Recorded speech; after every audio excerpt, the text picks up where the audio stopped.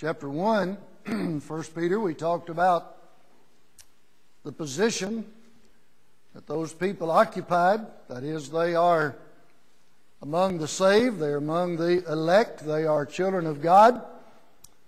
Peter, of course, is trying to encourage them under some very difficult circumstances to remain faithful to God, not give up, just because they are going through some very difficult circumstances, and they needed that encouragement. And as a result of discouragements and troubles and trials that we face in our life as a child of God, we need the same encouragement. That's why these um, letters are so valuable to us because the position that they occupy or occupied is the same position that we occupy having obeyed the gospel of our Lord and Savior Jesus Christ. So we can receive the same encouragement from the letter that Peter wrote to them in that regard as they receive from it. And so then when we come into chapter 2, we're going to talk about the people they are. We talked about the position they occupy, now we're going to talk about the people that they are. And we'll break that down in several different aspects as we go through this chapter. So here's people who are in a right relationship with God. They're His children. They have been born again, not of corruptible seed, but of incorruptible, by the Word of God, as so stated back in um, chapter 1. They are Christians. Galatians chapter 3. For you're all the children of God by faith in Christ Jesus, for as many of you as were baptized into Christ did put on Christ. That's where they are. They don't want to lose that. They don't want to lose the benefits of that. Then when we come to chapter 2, one of the basic things that we'll notice is the separation that these people have relative to the world. You'll recall in 2 Corinthians chapter 6, beginning in verse, um, well, beginning actually in verse 14, Paul raises a series of questions. What communion hath light with darkness? What fellowship hath righteousness with unrighteousness? And he lists asks several different questions in that regard, to which the answer is obvious in each case. There is no fellowship between, there is no communion between.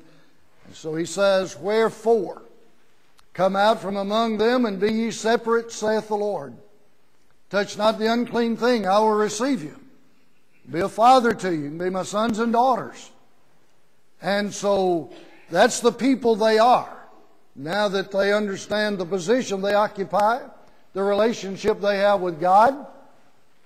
Now let's see what kind of people you are in that regard. So God cares for His children. But at the same time, He expects us to grow, doesn't He? In 2 Peter chapter 3, down about verse 18, He encourages them to grow in the grace and knowledge of our Lord and Savior Jesus Christ. In this chapter, then, he begins by saying, Wherefore? Laying aside all malice and all guile and hypocrisies and envies and all evil speakings. As newborn babes, desire the sincere milk of the word, that ye may grow thereby.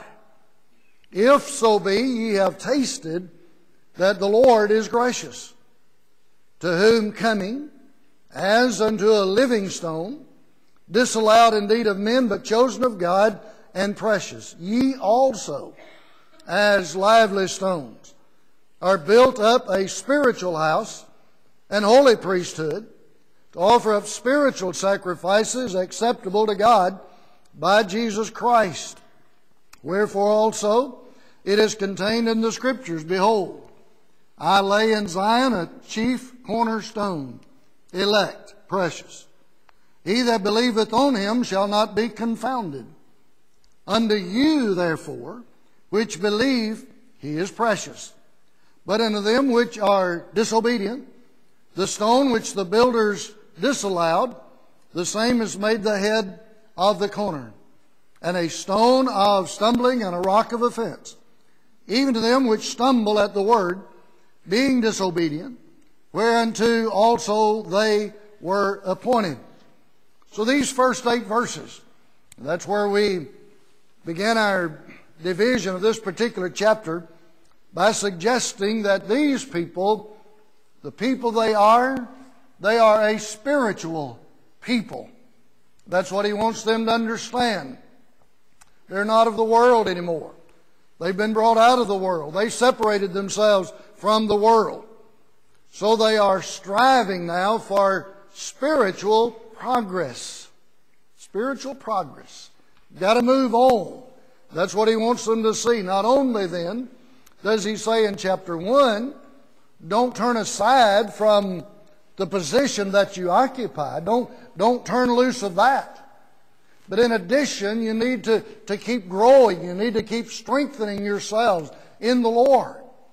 And of course, the stronger they become spiritually, the, the easier, that's a pretty loose term under the circumstances, but it would be easier then for them to overcome the extreme difficulties, persecutions that they were currently facing.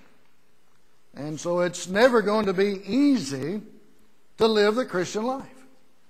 Our Lord never promised that it would be easy.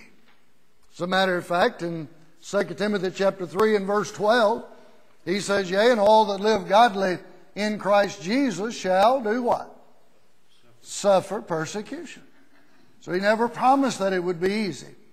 1 Peter chapter 4, when we get over there, he's going to deal with the same concept. When he says, Let none of you suffer as a murderer, or as a thief, or as an evildoer, or as a busybody in other men's matters. Yet, if any man suffer as a Christian, let him not be ashamed, but let him glorify God in this behalf. And so it's not easy to live that Christian life. And, and so to, to move on, to grow, to make progress in this Christian life, there's some things that are involved. And so he begins when he uses that word wherefore in consequence of the fact that you have been regenerated to a new life by the Word of God. That's chapter 1. There's some things that you've got to do. So he's, and we know this, but I think sometimes we lose sight of it. Where do these little chapter headings come from? Men. Men. Peter didn't make a break in his thought right here. He's said to them that you've been born again by incorruptible seed, by the Word of God, that, that's going to endure forever. Wherefore? Because of the position that you occupy, here's some things that you need to think about in order to continue to grow. Wherefore lay aside, laying aside all malice and all guile and hypocrisies and envies and all evil speakings. Lay aside. Put aside. That's the idea involved here. So anything, in essence, he, he lists some things specifically here. But you could, you could literally say anything, any act or any disposition that's going to destroy what you have, the position that you occupy, put it away. Get rid of it. We've noticed Colossians chapter 3 in that context before, in which Paul says, If ye then be risen with Christ, seek those things above, where Christ sitteth on the right hand of God. Set your affection on things above, not on things on the earth. Then, when you come down to verse 5, Colossians chapter 3, he says, Mortify therefore your members What does that word mean? Put to death. Put away from you. Well, that is exactly what Peter is saying to these people. You've been born again. You are now children of God. You see the position that you occupy. As a result of that, there's some things that you must put away in order to continue to grow. So you might think of verse 1 as, as hindrances to growth. That's what they are. They will not allow the child of God to grow as he ought to grow in this new life. So put these things away from you. And that little phrase, lay aside, is a decisive act. It's not something that you can take lightly, not something you can do casually. Here is a serious charge. Put these things away from you. They must be done with permanent result. That's the nature of the language in the original here relative to this, this particular phrase, lay aside. It is, it is an act that has continuing results. So when we put away malice today, we can pick it back up tomorrow, right? Wrong. Put it away from you, keep it away from you. Don't let it get back in your life. So that's, that's the significance of this little phrase, lay aside. Then he talks about these things in particular. First thing he talks about is, is malice. What is malice? What, what word would we probably use instead of malice? Huh? Well, we'd probably use, at least I would use the word hatred. Uh, it's a disposition of man that really has a desire to hurt somebody else. Deliberate intention of hurting someone else. Have you ever hurt anybody else? If you've lived very long, you have. Now, whether or not you did it deliberately is a different matter. We hurt people all the time without a deliberate effort on our part. Sometimes we're even unconscious of it, unaware of it, but it happens. But this idea involved here is a deliberate effort to hurt somebody, that, that disposition that basically says if I ever get a chance, I will get even. What does Peter say about that attitude? Put it away. Get rid of it. It's not going to do you any good as a child of God. It's going to hinder you from growing and developing as you ought to. Now, the American Standard has the word wickedness here, and that's uh, Martin mentioned that a minute ago. Um, but we've got to get rid of that, that attitude that wants to hurt anybody. Put away malice. How much malice? Hold on just a little, can't you? No, got to put it all away. No room for it in the heart of the child of God. And all guile. The word guile here is craftiness, literally to catch with bait. What picture do you get in that regard of, of how we relate to one another? I guess we would call it setting somebody up, wouldn't we? Set them up. We don't want to, we don't want it to look like we've deliberately done something malicious against them, so we'll just kind of set them up and let them take the fall on their own. That's the idea involved. That's not the attitude that the child of God has relative to others. Then he talks about hypocrisies. What does that word mean? Who is a hypocrite?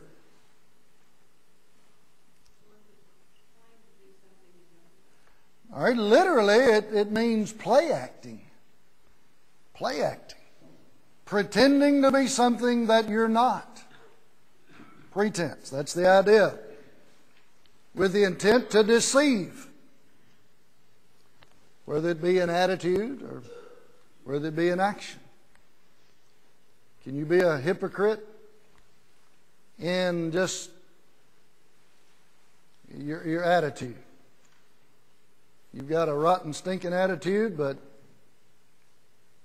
you put on a face like you've just the sweetest, lovingest person in the world.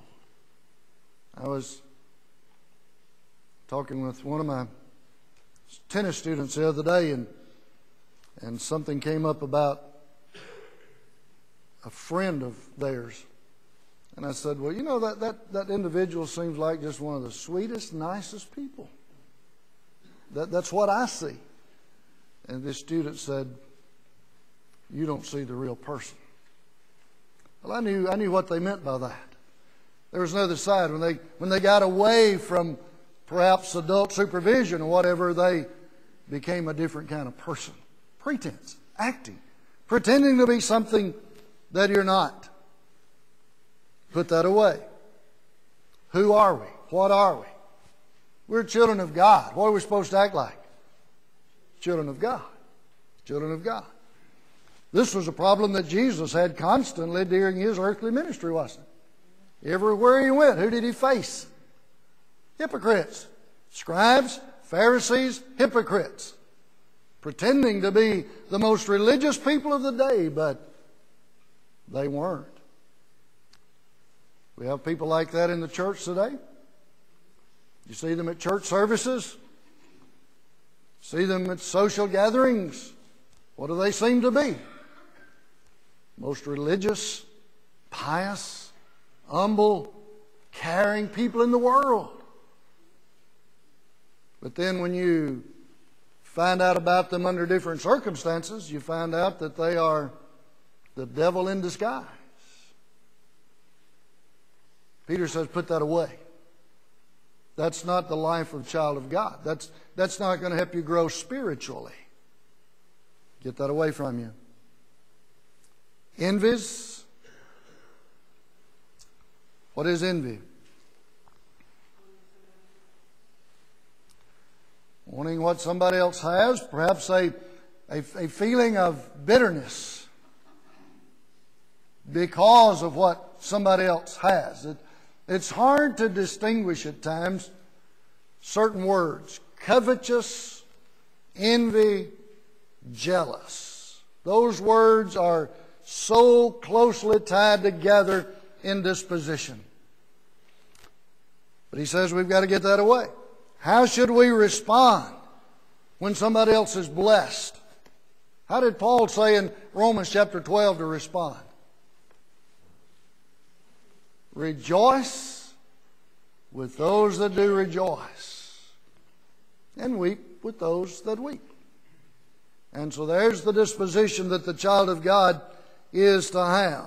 So put that away. Matter of fact, in Proverbs chapter 14 and verse 30, the, the proverb writer said that, that envy is the rottenness of the bone.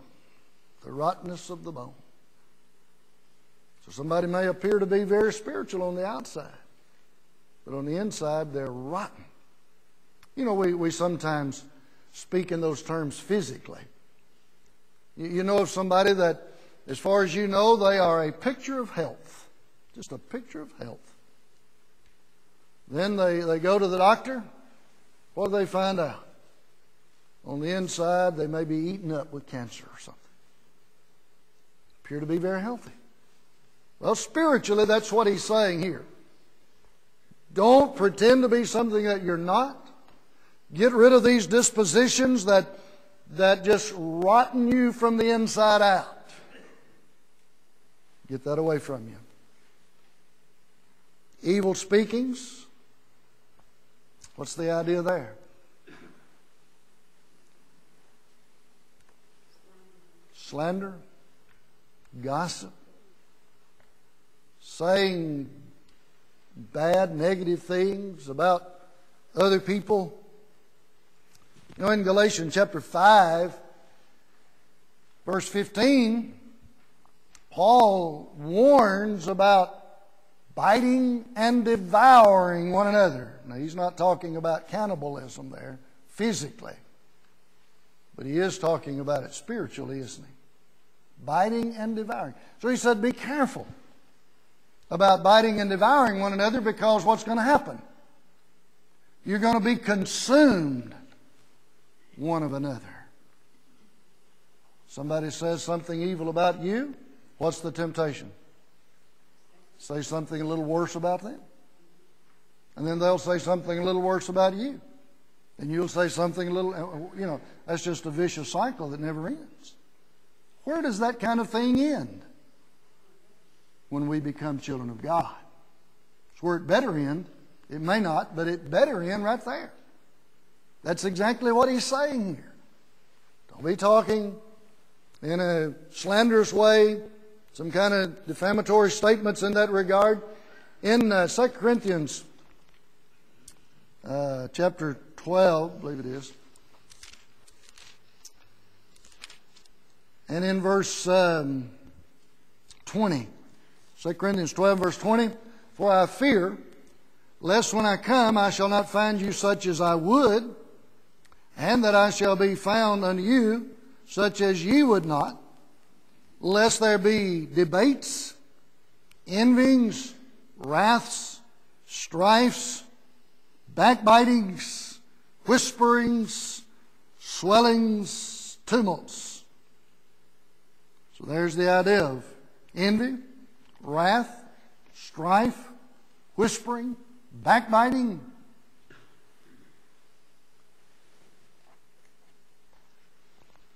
That's to be put away from us. That's not a part of the faithful child of God. How easy is it to be caught up in that kind of thing? Somebody calls you, begins to run somebody down. What are you out to do? I didn't say what you should do. I said, what are you apt to do? Listen, concur, Maybe even throw in a thing or two about that person you know. What should you do? What should you do? Tell them to go to that person. Offer to go with them. Somebody calls you and begins to run somebody down. So, you know, it's obvious you have a problem with that individual. I'd like to come by and pick you up and let's go talk to him and see if we can get this worked out. How long would it be before they'd call you again? Long time. Long time. You know, in order for people to be gossipers, what do they need? They need ears. They need ears. So while we may not be guilty of gossiping ourselves, can we be guilty of promoting it? We sure can. So we need to think about that. We're, we're growing and developing as children of God. That kind of thing needs to be put away from us. And that's what he's saying in this regard. The, the real idea here is, uh, is kicking around other people's reputation like you would a football. No regard, just kick them around. You don't have any love for them, you don't have any concern for them. After all, if we can run somebody else down, what does that do for us? Makes us look a little better, doesn't it? Run somebody else down makes you look a little better. Supposedly, but it really doesn't. You see, these things belong to that, that old man. We mentioned a moment ago, Colossians chapter 3, and actually, verse 5 begins to list things that are to be mortified or put to death. Goes all the way down through verse 9. Many of the same things that, that Peter talks about right here. Why do you think it's so important that, that Paul would mention these things and Peter would mention these things and, and John would mention these things? Why is that so important that, that all of these writers mention these things? Could it be because they're very common occurrences? Common occurrences. But the child of God's going to get rid of that. And so, so Peter says to these people, now that you realize the position you occupy, you're children of God. You're among the elect. You've been born again. There's just some things about life that will not be a part of your life anymore. Put them away once and for all Get rid of them. As newborn babes desire the sincere milk of the word that ye may grow thereby. So, so these hindrances to growth in verse 1. Then when you come down to verse 2, he gives us what it's going to take to grow in that regard. So now instead of filling your life with malice and guile and hypocrisy and envy and evil speaking, you're going to fill your life with what? A study of the Word of God. Study of the Word of God. That's how important the Word is to us. As children of God, we're going to, we're going to spend time with it. Get rid of those old things. So he says, as newborn babes desire, as. That word as introduces a comparison. Do we understand the comparison here? New baby is born into this world. What do we do? We feed it. When that baby gets hungry, what does he do?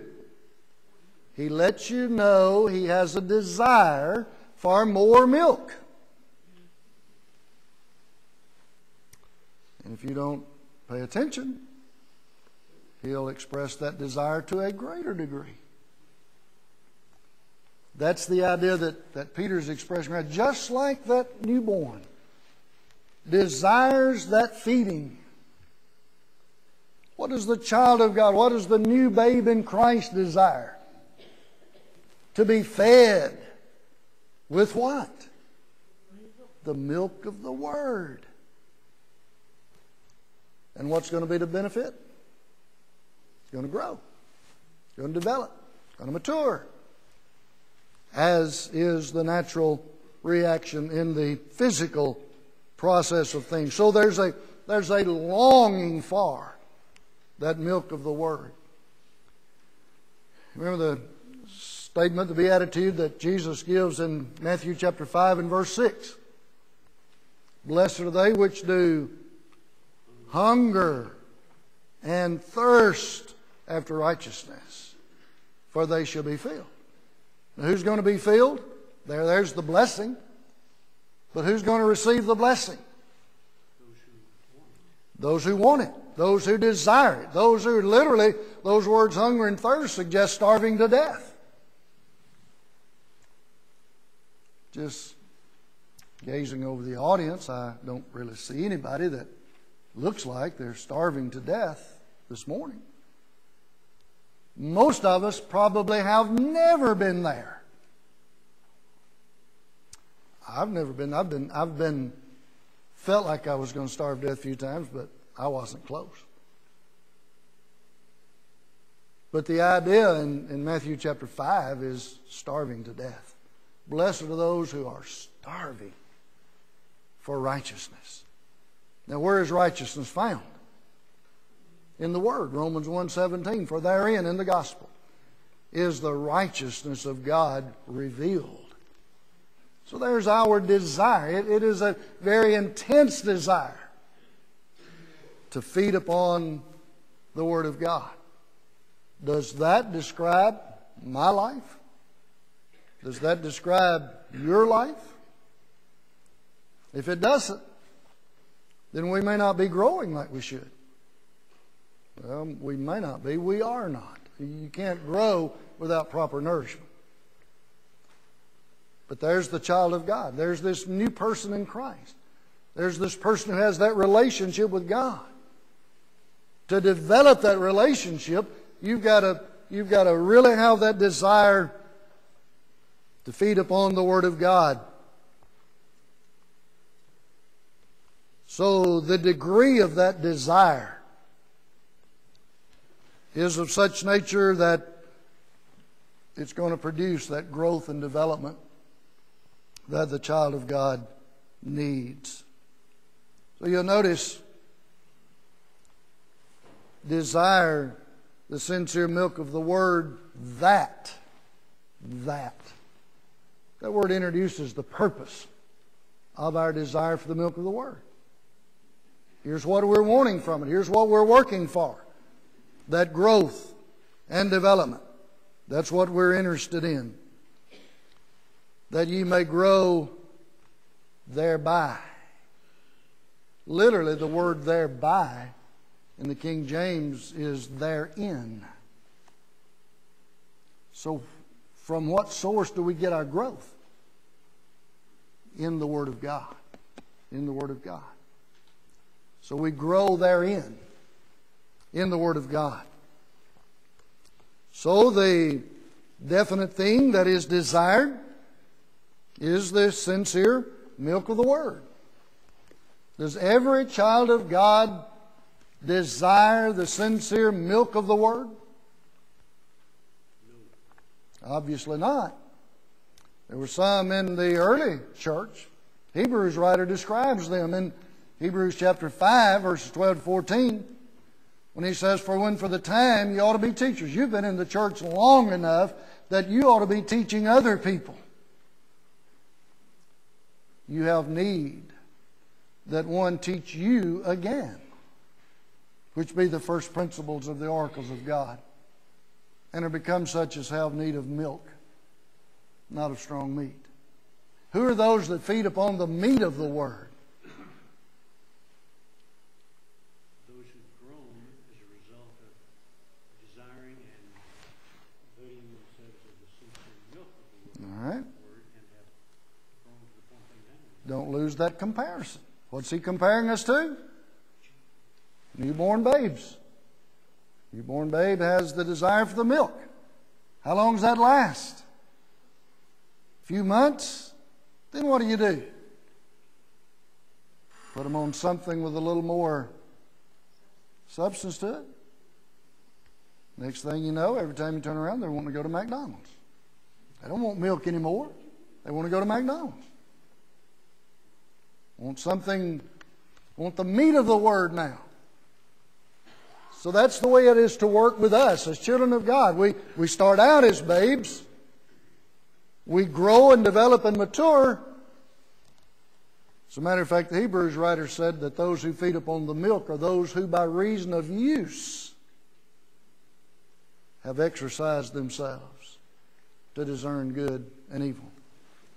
And so uh, that desire leads to growth and development, gets us into the meat of the Word, that growth process lasts how long?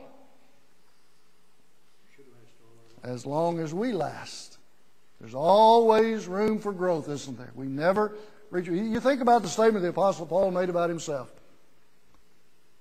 when he says, I've not yet attained. I haven't reached my goal yet. I'm still growing. I'm still reaching. I'm still pressing on to the mark.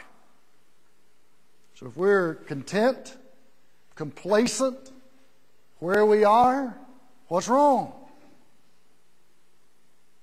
Well, literally, we are in, we're dying spiritually. We're dying. If we're not continuing to feed upon the Word, we're dying. You cut off somebody's food supply, what's going to happen? They're going to start the process of dying. And it won't take long. That's why it's discouraging to elders when they provide opportunities like this morning for Bible study. They provide the food. Most of the sheep are here, but what about the rest? They don't desire to feed upon the Word of God. It's not going to produce growth and development. It's going to produce death spiritually. They don't change that. And so, whenever we have provision, when, whenever the shepherds provide the food for the sheep, what ought we to do? I grew up on a farm feeding cattle. And in the wintertime, those cattle would hunt and search and rake and scrape for something to graze on. But late in the afternoon, when they heard the tractor crank up, what do you think they did? Wherever they were, they started coming at breakneck speed to the area where they were fed every day. because the tractor cranked up, they knew we were coming with a load of hay to feed them, and they wanted to be there to eat of it. Ran to it. Is that the way we are about feeding upon the Word of God? Ever the, the, the shepherds provide food for us? Are we excited about getting to go and eat again? Feed upon the Word of God? Yeah, I guess we're going to have to go. It's a gospel meeting, and if we don't go, you know, some elder's going to be calling us. No, that's not what it's all about. It's that eagerness to go and feed upon that word.